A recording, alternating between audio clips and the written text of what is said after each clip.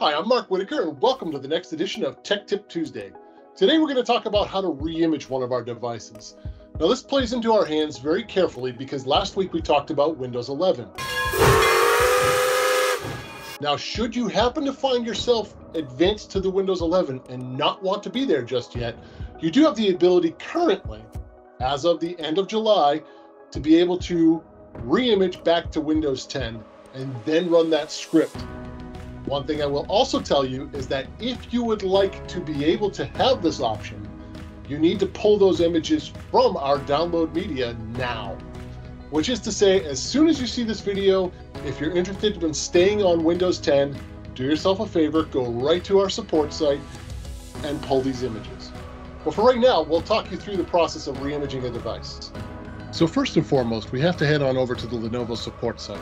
This can be found at support.lenovo.com. So here you can see the support.lenovo.com site, and it brings you to a host of different options. Click on the Smart tab.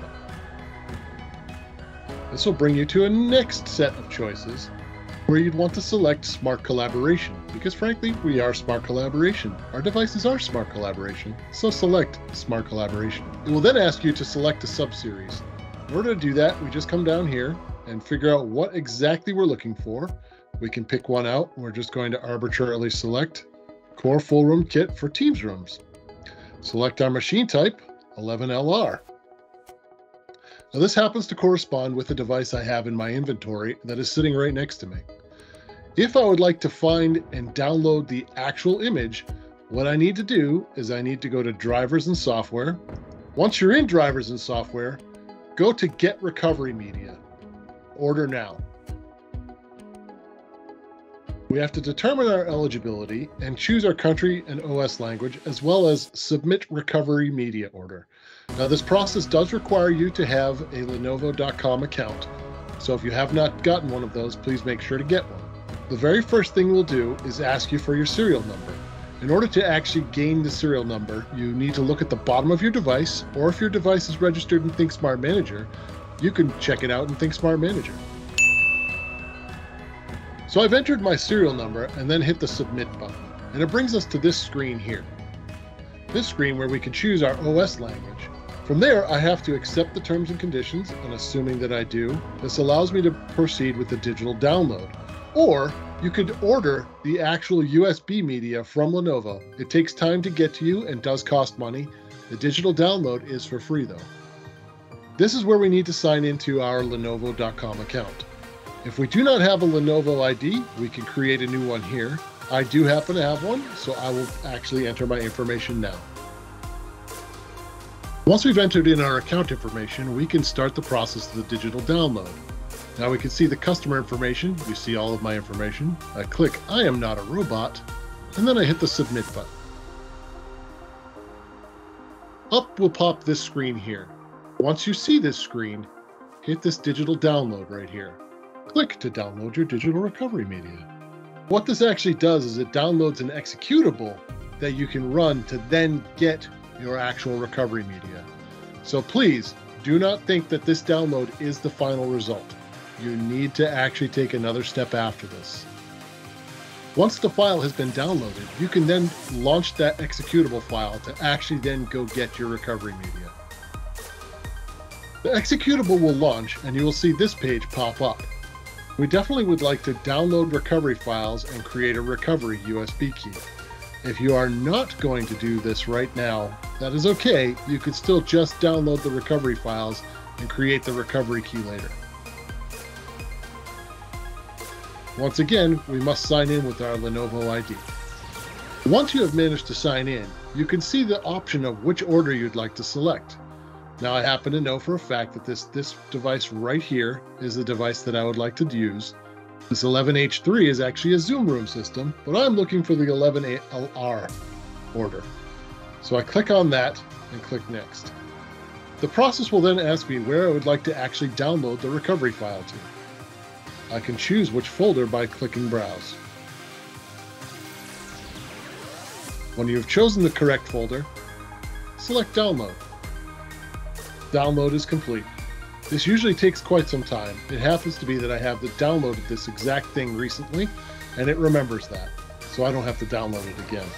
Once we've actually downloaded the file, we have to select which USB drive we would like to actually create the image on. We can choose our drive by clicking the down arrow. I only happen to have one USB drive connected, so that's the only one available to select. When I'm done with that, I would hit next. This will completely format the thumb drive. Danger, Will Robinson! Danger! And here's your failsafe to verify that you are not going to be erasing anything particularly bad. So, if you are okay with this, you click the yes button. From there, it will actually create the new boot tool to create the new image on your device. Once you've created the USB thumb drive, you can just take that single thumb drive and connect it up to USB on your device. Once you've done that, you reboot the device. Many times the devices will reboot and start the re-imaging processes right away. Other times it might not. In the event that your system does not reboot and start the imaging process right away, we need to tell the BIOS to look at the USB thumb drive as the main boot hard drive. To do this, we need to connect a keyboard to the system. Once the keyboard is connected, simply reboot and keep pressing F12 until you get into that menu system. Select which device you'd like to actually reboot with, which in this particular case should be the USB drive, and then click the reboot button. Your reimage process will be underway. Now this will go for some time, we'll say maybe 20 minutes or so, and it will tell you to remove the media, and then it will reboot on its own. Once you do that, it will take another hour or so. It'll take some time after you pull that thumb drive. During this hour long process, you may be tempted to push buttons or reboot or do something because it kind of looks like it might be stuck. Do not touch it. If you touch it, the re-image will fail and you'll just have to do it again. So just be patient, wait a while, and eventually you'll come to the out-of-box experience. That out-of-box experience will include such things as being able to assign the new admin password for the device, enroll it into ThinkSmart Manager via the QR code, and set up the account process like it was a brand new system out of box. Now, if you got this image before the middle of August, you absolutely should still have Windows 10. If you are not interested in upgrading to Windows 11, immediately go and run that registry edit we talked about last week. For a reminder, please watch the video from last week. Link to it's right below. I'd like to thank you for taking a minute and watching the how to reimage video on Tech Tip Tuesday today. Again, this is a great tool if you've already gotten onto Windows 11 and you don't want to be there yet. To get back to Windows 10, do this now. If not, pull those images immediately. If you just want to have those Windows 10 images backed up, let's work together on this. We can figure this out. But for now, thank you for joining us. I really appreciate your time here today. I'm Mark Whittaker ask you to please don't forget to leave comments, suggestions, tips. Ask me some questions for the new segment, Wednesdays with Whittaker. Be happy to take your questions. Doesn't have to be Smart Collab related. I know lots of weird random stuff.